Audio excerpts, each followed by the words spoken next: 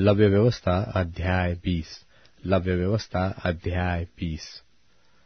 प्राणदंड के योग्य भांति भांति के पापों का वर्णन। फिर यहोवा ने मूसा से कहा, इसराइलियों से कह कि इसराइलियों में से व इसराइलियों के बीच रहने वाले परदेशियों में से कोई क्यों न हो जो अपनी कोई संतान मोलेक को बलिदान करे वह निश्चय मार डाला जाए और जनता उसको पत्थरवाह करे और मैं भी उस मनुष्य के विरुद्ध होकर उसको, उसके लोगों में से इस कारण नाश करूँगा कि उसने अपनी संतान मोलेक को देकर मेरे पवित्र स्थान को अशुद्ध किया और मेरे पवित्र नाम को अपवित्र ठहराया और यदि कोई अपनी संतान मोलेक को बलिदान करे और जनता उसके विषय में आनाकानी करे और उसको मार न डाले, तब तो मैं स्वयं उस मनुष्य और उसके घराने के विरुद्ध होकर उसको और जितने उसके पीछे होकर मोलेक के साथ व्यभिचार करे, उन सबों को भी उनके लोगों के बीच में नाश करूँगा। फिर जो प्राणी ओझाओं व भूत साधने वालों की ओर फिर के और उनके पीछे होकर व्यभिचारी बने, तब मैं उस प्राणी के विरुद्ध होकर उसको उसके लोगों के बीच में से नाश कर दूँगा। इसलिए तुम अपने आप को पवित्र करो और पवित्र बने रहो, क्योंकि मैं तुम्हारा परमेश्वर यहोवा हूँ और तुम मेरी विधियों को मानना और उनका पालन भी करना, क्योंकि मैं तुम्हारा पवित्र करने वाला परमेश्वर यहुआ हूँ। कोई क्यों न हो, जो अपने पिता व माता को शाप दे, वह निश्चय मार डाला जाए। उसने अपने पिता व माता को शाप दिया है। इस कारण उसका खून उसी के सिर पर पड़ेगा। फिर यदि कोई पराई स्त्री के साथ व्यभिचार करे तो जिसने किसी दूसरे की स्त्री के साथ व्यभिचार किया हो, वह तो व्यभिचारी और वह व्यभिचारिणी दोनों निश्चय मार डाले जाए। और यदि कोई अपनी सौतेली माँ के साथ सोए वह जो अपने पिता ही का तन उघाड़ने वाला ठहरेगा। सो, इसलिए वे दोनों निश्चय मार डाले जाए। उनका खून उन्हीं के सिर पर पड़ेगा। और यदि कोई अपनी पतोह के साथ सोए तो वे दोनों निश्चय मार डाले जाए, क्योंकि वे उल्टा काम करने वाले ठहरेंगे, और उनका खून उन्हीं के सिर पर पड़ेगा। और यदि कोई जिस रीति से स्त्री से, उसी रीति पुरुष से प्रसंग करे तो वे दोनों घिनौना काम करने वाले ठहरेंगे। इस कारण वे निश्चय मार डाले जाए। उनका खून उन्हीं के सिर पर पड़ेगा।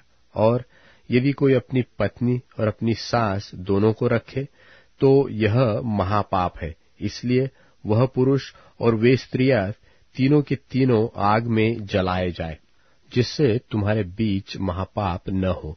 फिर यदि कोई पुरुष पशुगामी हो तो पुरुष और पशु दोनों निश्चय मार डाले जाए। और यदि कोई स्त्री पशु के पास जाकर उसके संग कुकर्म करे तो तू उस स्त्री को और पशु दोनों को घात करना। वे निश्चय मार डाले जाए। उनका खून उन्हीं के सिर पर पड़ेगा। और यदि कोई अपनी बहन का, चाहे उसकी सगी बहन हो, चाहे सौतेली, उसका नग्न तन देखे और उसकी बहन भी उसका नग्न तन देखे तो यह निंदित बात है। वे दोनों अपने जाति भाइयों की आँखों के सामने नाश किए जाए, क्योंकि जो अपनी बहन का तन उघाड़ने वाला ठहरेगा, उसे अपने अधर्म का भार स्वयं उठाना पड़ेगा। फिर, यदि कोई पुरुष किसी कृतुमती स्त्री के संग सोकर उसका तन उघाड़े तो वह पुरुष उसके रुधिर के सोते का उघाड़ने वाला ठहरेगा, और वह स्त्री अपने रुधिर के सोते की उघाड़ने वाली ठहरेगी। इस कारण वे दोनों अपने लोगों के बीच में से नाश किए जाए, और अपनी मौसी व फूफी का तन न उघाड़ना, क्योंकि जो उसे उघाड़े वह अपनी निकट कुटुंबिनी को नग्न करता है। इसलिए उन दोनों को अपने अधर्म का भार उठाना पड़ेगा। और यदि कोई अपनी चाची के संग सोए तो वह अपने चाचा का तन उघाड़ने वाला ठहरेगा। इसलिए वे दोनों अपने पाप के भार को उठाए हुए निर्वंश मर जाएँगे। और यदि कोई अपनी भौजी व भयाहू को अपनी पत्नी बनाए तो इसे घिनौना काम जानना, और वह अपने भाई का तन उघाड़ने वाला ठहरेगा। इस कारण वे दोनों निर्वंश रहेंगे। तुम मेरी सब विधियों को और मेरे सब नियमों को समझ के साथ मानना, जिससे यह न हो कि जिस देश में मैं तुम्हें लिए जा रहा हूँ, वह तुमको उगल देवे। और जिस जाति के लोगों को मैं तुम्हारे आगे से निकालता हूँ, उनकी रीति रस्म पर न चलना, क्योंकि उन लोगों ने जो ये सब कुकर्म किए हैं, इसी कारण मुझे उनसे घृणा हो गई है, और मैं तुम लोगों से कहता हूँ कि तुम तो उनकी भूमि के अधिकारी होगे, और मैं इस देश को जिसमें दूध और मधु की धाराएँ बहती है, तुम्हारे अधिकार में कर दूँगा। मैं तुम्हारा परमेश्वर यहोवा हूँ, जिसने तुमको और देश के लोगों के अलग कर दिया है।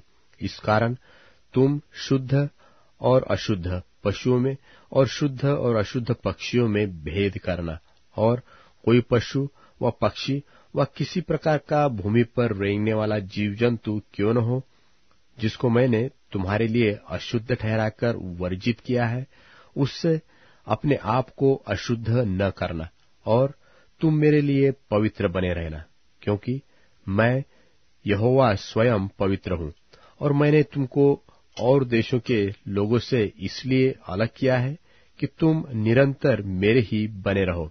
यदि कोई पुरुष व स्त्री ओझाई व भूत की साधना करे तो वह निश्चय मार डाला जाए। ऐसों का पत्थरवाह किया जाना, उनका खून उन्हीं के सिर पर पड़ेगा।